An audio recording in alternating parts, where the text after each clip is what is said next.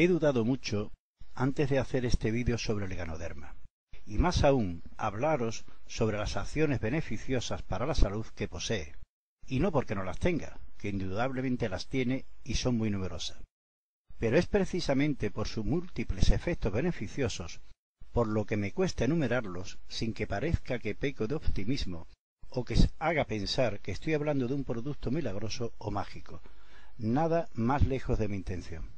Si nos fijamos en la medicina tradicional, vemos que si vamos a un cirujano por un acceso en una pierna, por poner un ejemplo, nos mandará seguramente amoxicilina más ácido clavulánico, para entendernos mejor el augmentine. Pero es que si visitamos al otorrino por padecer un proceso infeccioso en las amígdalas, es decir, unas anginas, con 40 de fiebre, también muy posiblemente nos receten lo mismo. Igualmente, si visitamos a nuestro dentista por un flemón, nos prescribirá casi seguro el mismo medicamento. ¿Es el agumentino un medicamento milagroso? Indudablemente no. Detrás de ese nombre hay una composición química que hace posible que actúe sobre un amplio espectro bacteriano. Otro ejemplo de medicamento milagroso, entre comillas, y mucho más antiguo, es el ácido acetilsalicílico o aspirina. Se ha usado como analgésico, es decir, para el dolor, como antiinflamatorio, como antipirético para la fiebre y como antiagregante plaquetario a pequeña dosis. ¿Estamos otra vez ante un medicamento milagroso? Está claro de nuevo que no. Otra vez hablamos de una composición química, la del ácido acetilsalicílico, cuyas investigaciones empezaron a finales del siglo XIX y que hace posible todas estas acciones farmacológicas beneficiosas para el organismo. Por último, y antes de entrar en detalle sobre los beneficios preventivos y terapéuticos del Ganoderma lucidum, quiero basado en el ejemplo anterior, haceros comprender, aunque sea de una forma somera, el término adaptógeno.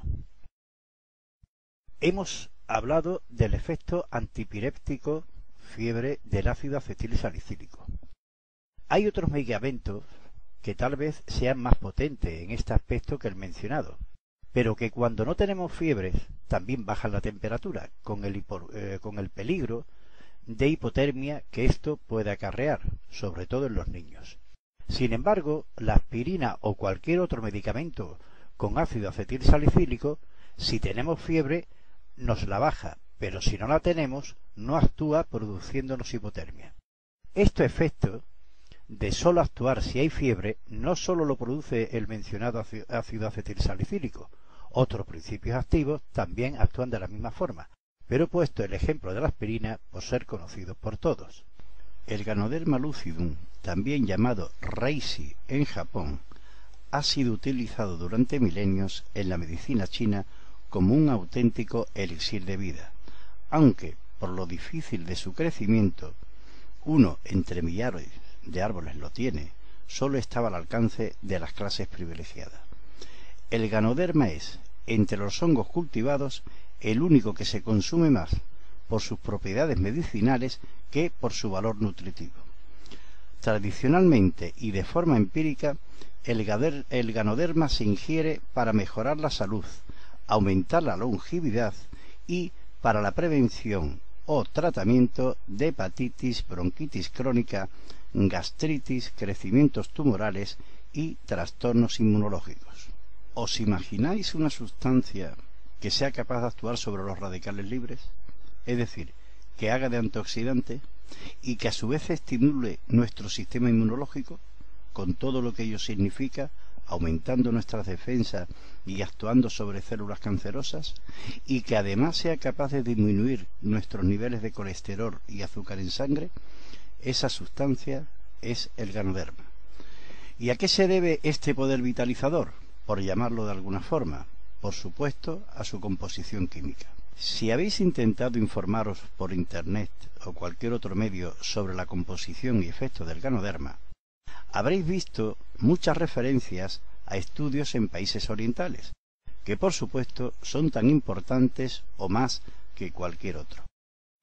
Pero yo voy a basarme en el estudio realizado por un español, el profesor José Luis Ríos Cañabate, doctorado en biomedicina y farmacia por la Universidad de Valencia y miembro del Departamento de Farmacología de la Facultad de Farmacia de dicha universidad. En su trabajo Ganoderma lucidum, un hongo con propiedades inmunoestimulantes, nos viene a decir que lo responsable de la acción beneficiosa del ganoderma se debe a que su composición química encontramos dos grupos muy importantes. Estos dos grupos son los terpenos y los polisacáridos, junto a derivados esteroidicos, lectinas y análogos a la adenosina. Dentro de la familia de los polisacáridos y terpenos tenemos todos estos compuestos que ven aquí. Os lo muestro para que veáis que aquí no hay milagros, sino una gran variedad de elementos que forman la composición química del ganoderma.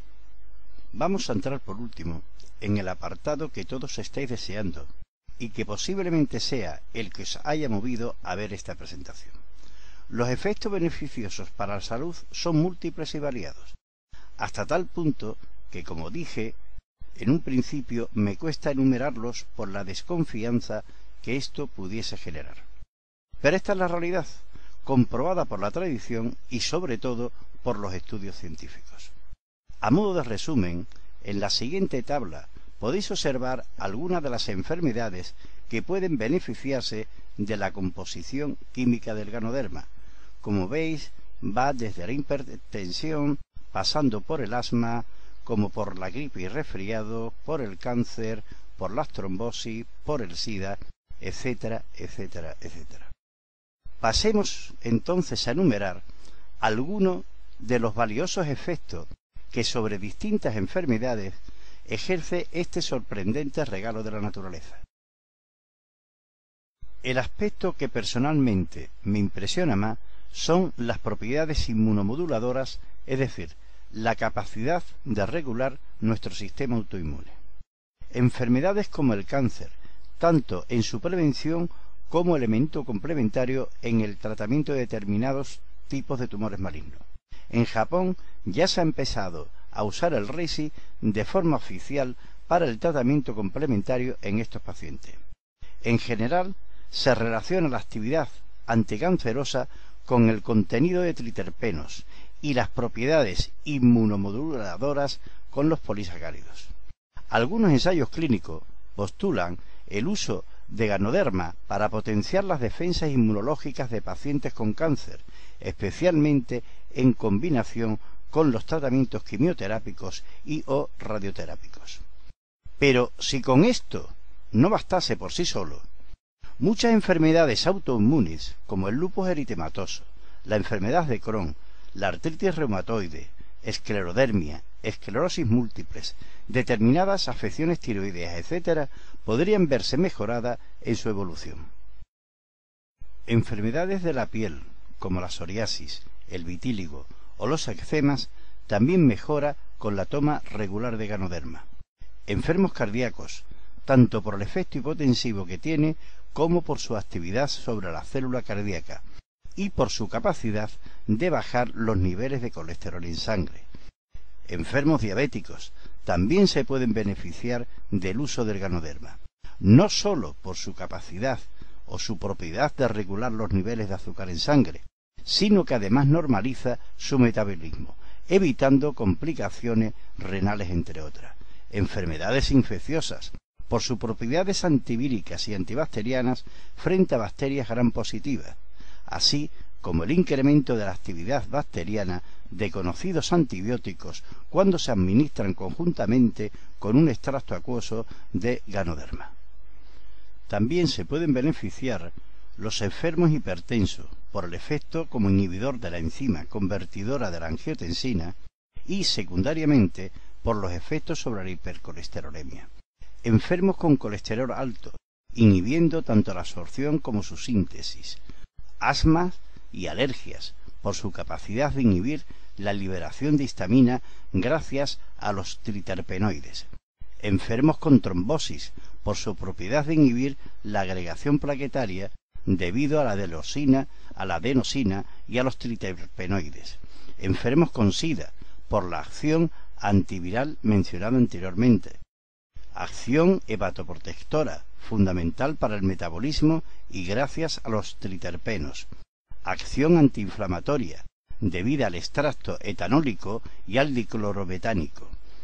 Como antioxidante, actúa sobre los radicales libres. Y cada día nuevas investigaciones, tanto en el terreno experimental como en el clínico, nos van ofreciendo nuevos comportamientos del ganoderma en beneficio de nuestra salud. Como decía el profesor Berger en uno de sus trabajos, muy pronto veremos nuevos productos alimenticios y medicamentos que contengan ganoderma. Por lo visto, muy posiblemente nos encontremos ante el mejor adaptógeno de nuestros tiempos. No quería acabar esta exposición sin comentaros algo que me sucede con frecuencia en mis charlas, y es que la gente se me acerca y me dice, desde que tomo el ganoderma, me encuentro mucho mejor y con más ánimo. Sé que esto no es muy científico, pero os puedo asegurar que me reconforta mucho.